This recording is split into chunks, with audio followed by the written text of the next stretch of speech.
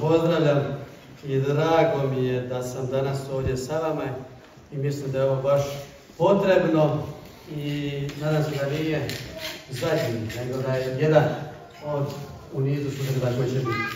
S obzirom da je vrijeme kratko, a tema je jako opširna, neću onda nikakvim uvodom ovaj, duljiti, nego evo krenut ću odmah s onim što je moja tema.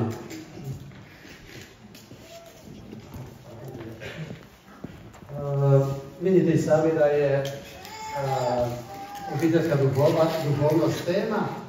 Ja sam to pokušao pred nekoliko koraka uh, predstaviti što bi ona, bila. Neće biti možda toliko predetaljno neke stvari, ali mislim da će opet biti jedan dobar impuls da bi možda evo, življe ušli u taj odnos s našim gospodinom, a i međusobno. Znači ono što je uvijek jako važno najvažnije je da brak i obitelj ima svoj nadnaravni izbor. I uzeo sam ovaj ovdje citat iz Ivanove, prve Ivanove, Bog je ljubav, ostaje ljubav, u Bog ostaje i Bog u njemu. I ovo je u biti ono nekako za obitelj, stvarno teme, trebali bi evo, biti toga svjesni. Zašto? Zato što je, ako uzmemo da je Bog ljubav, presvjeto trojstvo je zajedništvo, naj, najveća karakteristika ili glavna karakteristika presvjetog trojstva jest ljubav i zajedništvo. E, to, ta svetost, to jest presvjeto trojstvo ljubav i zajedništva je najsavršeniji uzor kako bi, kako bi savršenstvo, kako bi ljubav, to je zajedništvo ljubav trebali biti u obitelji. to sam već rekao, Kao što je, evo, gdje sam rekao glavna karakteristika ljubav prezeta trojstvu, tako bi u obitelji trebala biti ljubav. Obično kad mi dođu, evo malo ću reći, to jest potkrepljivati stvari, ovo što govorim sa primjerima, kad dođu mi, recimo, bračni parovi na razgovor, ili danas sve češće mlađi bračni parovi, traže, hvala Bogu pa traže pomoć, prvo jedno od prvih pitanja koje pita, zašto ste se oženili? Hvala Bogu, većina odgovora je zato što se voli. Znači, temelj je ljubav. Tako i brak bi trebao biti utemeljen iz ljubavi. I to, posebno mi koji smo vjernici, kad govorimo o kršćanskoj obitelji, onda taj brak bi stvarno trebao biti ne samo na jednoj ljudskoj razini ljubavi, nego utemeljen onda na ovoj nadnaravnoj ljubavi o kojoj govori, govori Isus Hrist.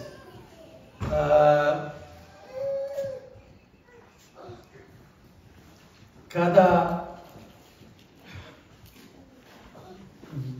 ostanu bračni drugovi, bračni par, svjestan toga da je glavni pokretač u obitelji ljubav da u biti ta ljubav donosi tu životnost, ljubav možemo i reći jednako duh sveti, a donosi životnost među bračne e, drugove, ali i onda među djecu, onda a što drugo se događa nego po toj ljubavi Bog ulazi u brak.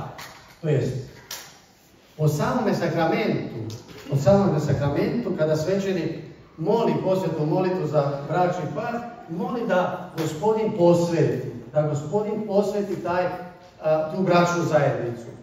E sad, ta bračna zajednica koja je otvorena milosti Božjoj i stvarno pristupila sakramentu kako treba, onda što drugo postaje nego postaje tamo gdje je prisutan Bog. To je sve, obitelj postaje svetište. Odnosno možemo govoriti o obiteljskom svetištu među bračnim parovima i naravno da potom su koji tu. Još dok molimo, dok molimo uh, blagoslovnu molitvu na vjenčanju za uh, mladence, vidite ovdje piše u Kristovoj smrti i slučaju ljubav bila pročićena i posvećena. U tom, u toj, po toj molitvi, ako su stvarno braći bar ušao u to uh, svjesno, s ljubavlju, uh, s predanjem jednom drugome, predanjem i pozdanjem gospodina, po toj molitvi i po tom sakramentu dolazi do pročišćenja i posvećenja. A u tom trenutku se otvaraju što? Oči duha. Gdje onda ona razina ljudska prelazi korak više. A taj korak je onda temelj svega onoga što ću evo u nastavku govoriti. Znači, najveći uzor, e, nakon možda što možemo mi primijetiti i uočiti, braku i obitelji jest Kristi crkva. Pava u Efežanima tamo govori, o veli, kad govori o braku i obitelji, onda uspoređuje veličinu i važnost braka i obitelji s Kristom i crkvom.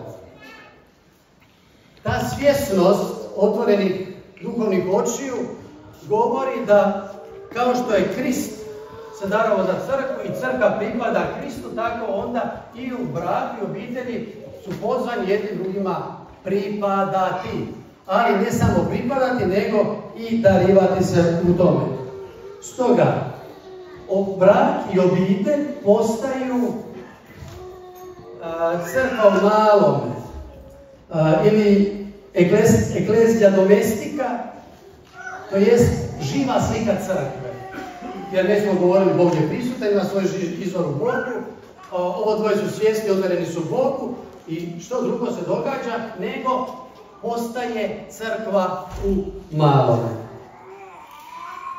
Ovo ću onda citat sam već rekao, živa slika jesam. Evo, ovo ću ovaj, pročitati. Primajući Kristovu ljubav, biva spašena, ja sam to sažao nakon, iz koje samo post, sama postaje prenositelj Kristove ljubavi, te zajedno, zajednica koja je sama spašava. Znači svjesni smo oni koji se otvori Božoj ljubavi. Svi smo ušli u spasenje, mogućnost spasenja po Kristovem križu i njegovom otkupljenju. Kada ta milost o našoj slobodnoj volji prihvaćanju uđe u naše živote, što drugo se događa nego već spasenje je započelo u nama. Ako se to spasenje živi po zakonima Božom braku, onda ta zajednica postaje što? Zajednica koja spašava. Ne samo potomstvo svoje, nego širi, jednostavno širi tu milost dalje. Prelazim već na, na evo, drugu točku, kršćanska obitelj u odnosu s Bogom. Ovo što sam govorio, temelj je. Znači, ovo što sam govorio, ova prva točka, ljubav, temelj je, temelj je za, za sve ostalo što ću govoriti. Da bi uh, jedna obitelj bila mjesto Bože prisutnosti, njegove nadarane ljubavi, zajednica u kojoj članovi obitelji žive spasenje, te postaju zajednica koja spašava, potrebno je potreban je stalni odnos sa živim Bogom. To jest odnos u istini, to jest odnos srca s Bogom i međusobno. Da bi taj odnos trajao, bio, obnavljao se, posvećivao se, da ne bi to ostalo na jednoj niskoj razini ili razini kako prvo se shvaćaju obitelj i, i brak, ako koliko mogu shvatiti, onda je potrebno sve ovo ostalo sljedeće što ću govoriti, jedna stvarno duplja, višlja razina. Prva stvar je molitva. Kaže opća uredba o liturgiji časoslova da crkva živi od molitve crkve. Ako crkva živi od molitve crkve, onda možemo jednostavno reći. Obitelj živi od molitve crkve, ali živi i od svoje molitve. Pojedinac živi od molitve crkve, molitve obitelji, ali i od osobne molitve.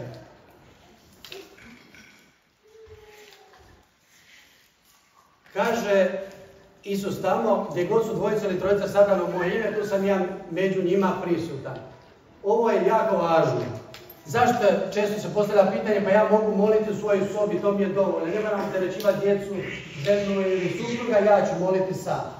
Gdje god su dvojica ili trojica moje ime, Krist je prisutan, to je 100%. To on kaže, njegova riječ. Ondje gdje e, čovjek moli sam, ne kaže da molita neće biti uznesena pred gospodinom, ali ovo je e, garancija da Bog prisutan. Oni gdje obitelj moli zajedno, Bog je prisutan. Znači, zajednička molitva je sigurnost Božje prisutnosti. Ono što se događa u molitvi, obitelj se otvara Bogu, kao i jedni drugima, iznoseći svoje potrebe i nakane Bogu. Obitelj u zajedništvu stapa svoja srca u jedan zajednički vapaj. Taj vapaj ljubavi prema ljubljenome pomaže nam da otkrivamo sebe i njega, te sve jasnije razumijemo vapaj svetoga Franje. Tko si ti preslati, gospodine Bože moj, a tko sam ja, crnić, ali tako dalje. Ovo je još jedna od jako važnih stvari u, u izgrađivanju naših međusobnih odnosa, ali i odnos, odnosa s Bogom. Zašto? Onaj tko ne poznaje sebe, ne poznaje svoje kvalitete i koji ne zna svoje granice, ne zna svoje nedostatke i svoje talente i darove, pa ne može se ni dati drugom. Ne može ni znati, to jest, da bi mogli se dati drugome, jedno drugome u braku, u obitelji, onda je neizmjerno važno poznavati sebe kao osobu. Vidjeti koji su moji dometi, koji nisu, gdje su rane, gdje nisu rane. I taj ljudski, to je govor ovdje o jednoj ljudskoj dimenziji. Ljudska dimenzija je temelj svega. Ako želimo graditi duhovnost bilo kakvu, potrebna je biti koliko toliko zadovoljavajuća ljudska dimenzija. Kad je ljudska dimenzija zadovoljavajuća, onda na tome možemo graditi kršćansku jednu dimenziju, a iznad toga tek mi Franjevci, Franjaška obitelj, bratsku dimenziju. On potpunu gdje se nas svi postaju braća i sestre. Znači, zajednička molitva drži obitelj na okupu. Ovdje gdje nema zajedničke molitve, puno je veća mogućnost će se obitelj raspasti. Molitva ona, to je Bog po molitvi drži obitelj na okupu. Po molitvi se stvara odnos s Bogom, raste povjerenje, dolazi do iskustva živoga gospodina. Ovo je jedna od stvari, ovo je jedna stvari jako važno. Da bi mogli vi roditelji koji jeste prenijeti svoju vjeru, ono što vi vjerujete svojoj djeci, neizmjerno je važno da vi dođete do jednog iskustva živoga Boga koji jest, koji postoji, koji je ljubav, koji je milost. Ako sami nismo iskusili živoga gospodina koji jest, a šta ćemo prenijeti? Prenijet ćemo nešto što smo naučili, no nije dovoljno. U vjeri nije dovoljno prenijeti samo znanje, nego iskustvo. O tom ćemo poslije govoriti malo više o svjedočanstvu. Pomoliti se, upoznaje Boga i otkriva se lice očevo. Ovo ćemo nastaviti, ista je stvar, a nije. Ćemo zadržati se tu kratko. Ovdje gdje ima molitve, ozbiljne molitve, ondje se događa i upoznavanje s gospodinom. Kako ćemo najlakše upoznati gospodina? Po riječi Božjoj. Gdje ćemo najbolje otkriti lice očevo? Otkrićemo ga po riječi Božjoj. Isus Krist sve što čini, sve što naučava, sve što radi, otkriva milosrdnu ljubav Oca koji ga je poslao. I tu je onda još jedna stvar važna. Otkrivajući lice očevo, onaka kakav Bog jest, koliko je u našoj domeni, našim kategorijama, koliko ga možemo otkriti, stvara se ispravna slika Boga. A kad mi imamo ispravnu sliku Boga, jedna od najvećih danas poteškoća, ja vjerujem svi oni koji nekako s ljudima razgovaraju, možda evo, iz vašeg iskustva, jest stvaranje svoje vlastite slike Boga. Ona, I često to bude onako kako on nije, kakav on nije. Stvaramo slike Boga u svojoj glavi. No, kroz molitvu, iskrenu molitvu, druženje s riječi mi otkrivamo doista kakav jest On. Kad znamo kakav jest i kad to temeljimo onda i na nauku crkve, onda nam je lako prenijeti mlađima upravo vjeru. Lakše nam je Sljedeći korak jest da bi s gospodinom ostali njegovali tu duhovnost o kojoj govorimo, jeste Euharistija, novi vječni savez.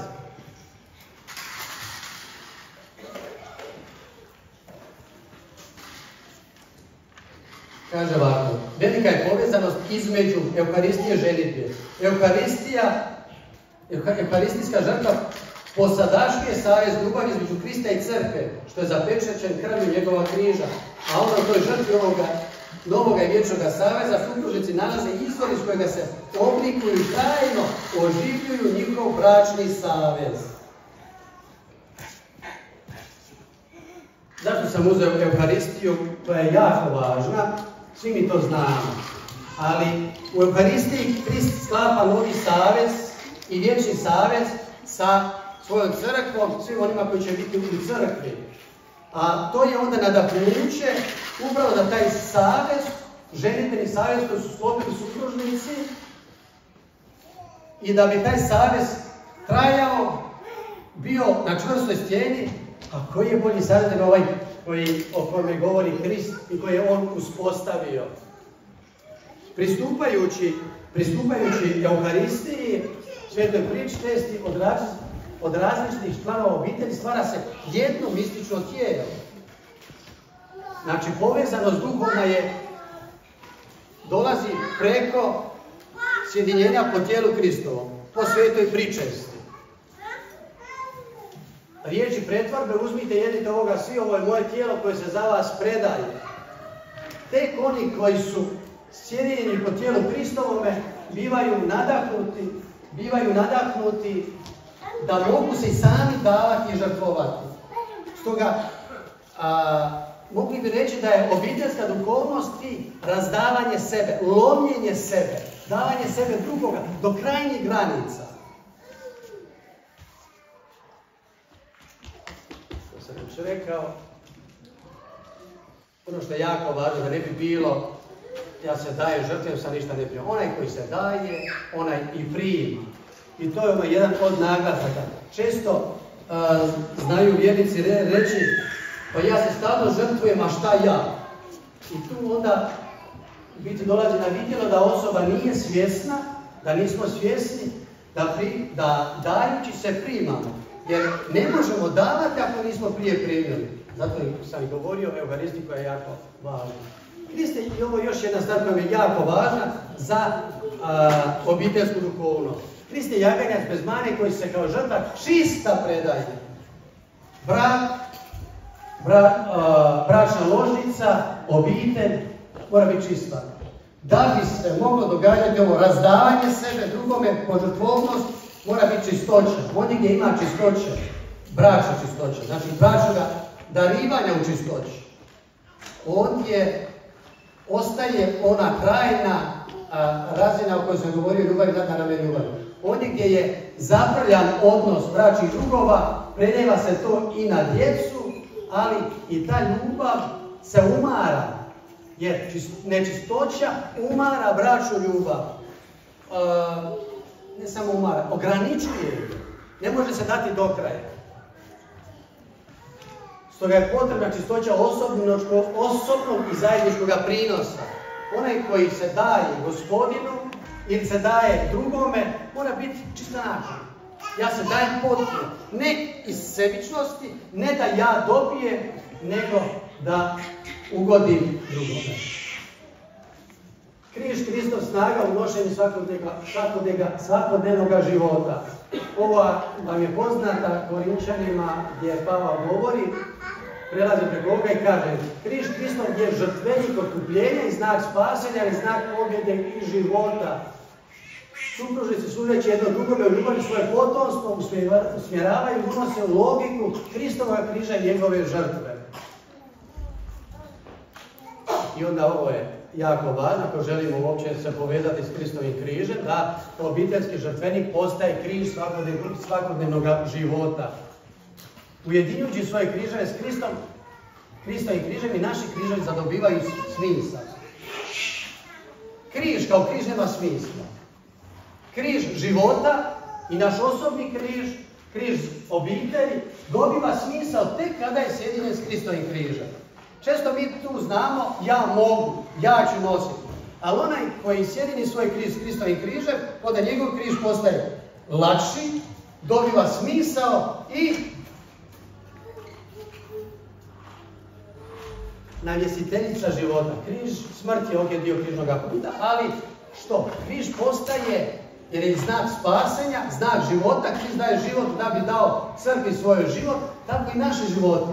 Ondje gdje umiremo sebi, svakodnevno se dajemo, što se događa?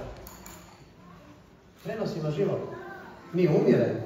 Ali život Kristov prvo prenosimo, naravno, prenosimo onaj nauk Kristove crkve, Kristov, na mlađe koje da prenose dalje, prenosi se život dalje. Kada se žrtve iz ljubavi rađa se plod pouzdanja, kada se oprašta iz ljubavi rađa se plod pomirenja, kada se žrtve sebičnost, rađa se velikodušnost, kada se žrtve postom postizava, postizava se ili postiže se. Postiže se milost. Naglašamo ovdje jako važnu stvar, koja, je važna. U današnjem svijetu jako malo se govori o postu, ja ovdje veliki naglasak stavljam. Ako želite u duhovnosti rasti i stvarno njegovati jednu bračnu, čvrstu ljubav i braniti tu ljubav i zajedništvo obitelji, ne može se bez molitve posta. Ne na vagu. To je dio Franjevačke karizme i na to smo jako pozvani. I sve češće i više govori o tome jer uviđa ovdje gdje dođe do problema, kad se počne moliti i postiti, jako brzo se problemi razriješe. Plodovi braćog saveza, razdavanje i nošenja križa, to su evo nekako tri ispita, jesmo li usvojili Kristovu ljubav. U jednom savezu, kada, smo, kada su braći drugo jedni savezu, braćove savez dolazi do mirne savjesti. Kada se razdaje sebe, čovjek je umoran, ali dolazi do zadovoljstva. Onaj koji nosi križ ovaj, i umire na križu, križ postaje zalog spasenja. Još jedan plod koji je jako vidljiv iz ove dvije, tri stvari koje sam već rekao, jest. I to se vidi već ovdje. Otvorenost životu. Drago mi je da ovoliko djece ima ovdje. I drago mi je da našem hrvatskom narodu sve više obitelji koja krsti četvrto, peto dijete, jer se vidi što? Da su usvojili Kristov zakon ljubavi. Pa to vam želim. Ovo ću preletiti, ali je jako važno. Pitanje sakramenta svete ispovjedi. Znamo da je čovjek slab, opusti i umisli dječima i dijelima sad I djecima i dijelima,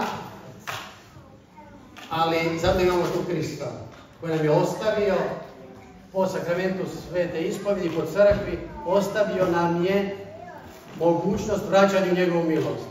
Vraćajući se u njegovu milost, mi osobno bivamo poticani na što? Kao što se kajamo, kajemo odnosu prema gospodinu, tako se kajemo što smo povrijedili drugoga. Ovdje gdje ima kajanja, trebalo bi biti i opraštanje, jer nas Hristus uči milost. Ovdje gdje ima kajanja i opraštanja, kaže ovdje postoji mogućnost obnove odnosa bračnog saveza i obiteljskog zajedništva. Nositelj duhovnog života u obitelji, dužnost svake kršćanske obitelji je odgajati svoje potomstvo u za duhovni život u, u, nauku crkve i tu je ono što je najvažnije ne riječi nego svjedočanstvo. Kako ti živiš, ono što ti radiš, ti si ogledalo svoje djece. Ono što ti danas živiš, sutra će tvoja djeca živjeti. Pavao, sveti papa Pavao šesti postavlja ovo pitanje i vi očevi znate li moliti sa svojom djecom cijelom obiteljskom zajednicom. Činjenica je da majke češće uče svoju djecu. I ta uloga je nezamjenjiva, ali ova druga, gledajte, ali ni očev ulogu ne može nitko zamijeniti. Nitko. Stoga, posebno u današnjem svijetu, kad je kriza autoriteta i očinstva, očevi bi trebali preuzeti odgovornost za duhovni život u obitelji. I čak jedno istraživanje u Americi koje kaže kada majke vode duhovni život u obitelji, i odgajaju djecu u na duhovnoj razini, samo 25% djece ostaje praktični vjernici. A kada očevi vode ovaj život, onda čak 75% djece ostaju praktični vjernici. Kakva je onda obiteljska duhovnost? Obiteljska duhovnost je duhovnost ljubavi. Gdje nema ljubavi, nema ni duhovnosti. Hvala